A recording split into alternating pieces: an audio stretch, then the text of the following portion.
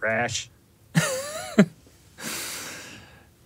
Hello, everyone. Hi, I am Graham, and I'm Ashkahn. and today's question is What do you put in your newsletters? Good. Newsletters. So let's let's start by saying let's let me start by saying that we don't uh, we have a separate newsletter list than just our our full customer list, right?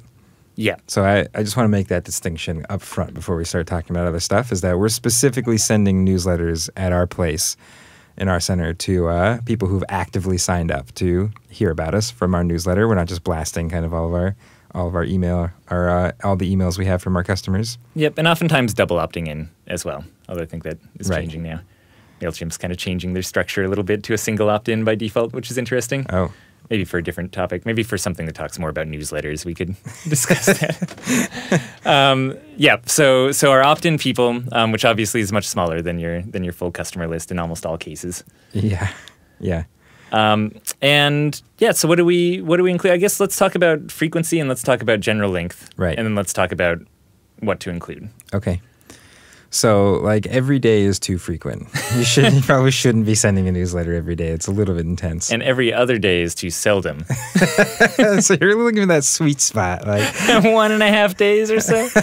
no, so I I would say anything under anything more frequent than every month for something like a brick and mortar business feels way too often. yeah, a little too intense. Like you're probably gonna overwhelm people or or just not have enough interesting stuff to say.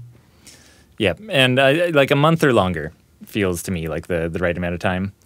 Um, three months for some reason. Like I don't, I don't know if it's that we're yeah again like a, a brick and mortar business people actually need to physically come into as opposed to a website where they get a newsletter and immediately they can go and get the new content from it or something. But yeah, for some reason like three months feels and maybe it's just because newsletters take so long to write that once every three months sounds way better than doing it every month. But that that to me one one to three months has always felt a little bit like if you want to have a really regular newsletter, that's what you're looking at. Mm-hmm. What about length? How long? How long are you sending things to people? How long? Um, I feel like usually it feels good to have about like three main points in your newsletter. Like kind of three distinct topics is often what I find feels like substantial, and especially with the infrequency of of when they're going out. And that's maybe like a one or two paragraphs like per per topic. Yeah, that's about what I was thinking. I was going to say the ability to read it and digest, or at least like you know, um, read slash skim it, and in like under five minutes, Uh huh. and get all of the information out of it feels like the right amount of the right amount of time in there. Right. So I guess if you were to like, you know, type it out in kind of magazine pages, it's almost like a spread. Is your newsletter maybe a couple pages is is what feels kind of right to me. Yeah. Uh, so, what the heck goes in that that you're that you're sending out? Um, I definitely have my list of favorites. I don't know if you if you prepped for this. I, I was up ni- at night studying. Um, you know, I've got some I've got some things that I'm thinking about. All right, I'll I'll say one first, and you can say one. Okay, but I hope it's not mine. You only have one. Well, I got one that I'm excited about. okay, you say yours first. All right. Like so one one thing I think is great to include in there is any awesome cool improvements you have going on at your hmm. float center. That's good. That was not the one I was excited about. Okay, so. nice. Yeah, cuz that's always just great news like for everybody, right? Like your center's doing better, your customer's experience is going to get better. Oftentimes with a float center, it's things that people might not even know or notice, right? Like, you know, it's We expanded our wall by Yeah. six inches Like and reduced do, sound like, by 20 more decibels. Heavy and- soundproofing is hard. You can, no one just walks in and goes like, "Oh, did you like do more soundproofing there?" But like, you know, it's great stuff to talk about because it's like, hey, you're you're making people's float experiences quieter and and improving the the kind of service in that way. Um, so that's those are always fun. If you have some kind of great upgrade that's happening in your float center, that's always one that I think is is definitely worth including. And another really good one is just other float news that has made it into the media. Uh huh. I really enjoy, especially when there's a really high profile article or piece that's come out, like in Time Magazine or uh, on NPR or anything like that, is really cool to be able to link people back to and uh, rather than being solely in charge of getting them excited about coming in and floating again. Now it's this broader culture at large is is responsible for a little bit of their excitement, which always feels like a nice one to put in there. Yeah. And uh, what else? What else goes into a newsletter? Oh, I got I got plenty more. Yeah, I have two spreads full of information. Uh, customer stories. I love I love highlighting a customer or someone who's gotten a lot out of floating recently. Maybe one of your members or or something like that. And especially if they have a story where they got a lot out of floating. It, they they've been floating every week for the last three months and it really affected their lives, or, or they were actually in a, a, car accident and it helped them recover, or just those really profound stories that we get every single day, I think are great things to, to share around.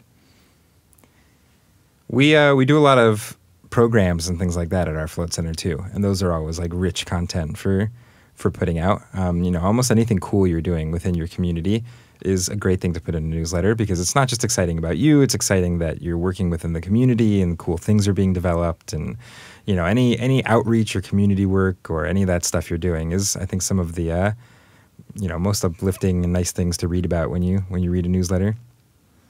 Yep. So that's that's kind of the idea behind some some prime examples of content. But the basic idea here is you know this is this shouldn't just be a pitch all about why to come in and float with you. If anything it's it's a tangential pitch in my mind. What you're doing is uh, the same thing that any magazine does, or that anything like a newspaper where you're going to it for content every day. You're just trying to provide content that people are entertained by and that they want to read. And hopefully that's exciting for them.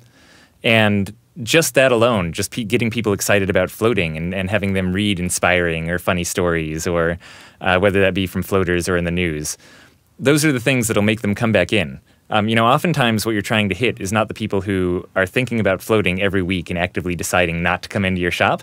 You're trying to get the people with your newsletter who floated a couple times or floated once and don't think about it often. And this newsletter is that thing where they're like, oh, yeah, floating. I'd kind of forgotten about it. And they're like, oh, that, that helps with PTSD. That's awesome. Or whatever it is, right? You're kind of feeding their dialogue and just giving them a little prod to remind them that floating's out there, A, and that you're out there as a specific place to float B. Yeah. So if you're, I mean, if you have some sort of specific deal or something like that, it really should be kind of tied into other things. Like you shouldn't ideally just be sending emails out every month that are like, hey, you know, you should like 20 bucks off, like just kind of those hard sales pitches or stuff like that, I think tends to be less effective because you're really not providing a ton of interesting content or huge value to people as they as they read your newsletter. Yep, make it entertaining, make it educational, and just sort of trust the rest of the the magic to happen. Um, you definitely, like Ashkahn said, don't need to pitch a deal every time. Cool. Uh, yeah, I mean, do we have a newsletter that they can sign up for? If you want to sign up for a newsletter, go to our site. It's uh, floathq.com. Actually, the uh, and the the Float Tank Solutions newsletter is a great example of that, or signing up for a blog for example. And, yeah. and by the way, the same exact lessons go for uh, making a blog that's coming out regularly for your center as as with a newsletter. You know, that same educational, make it entertaining, share people's stories. Yeah, same idea. And if you want to sign up for us to answer a question, you like that segue? that was a good one, huh? That was an okay one. Yeah. Then just go to floattanksolutions.com slash podcast. Type in your question and we may just answer it. All right. Thanks, everyone. Have a good one out there. Bye.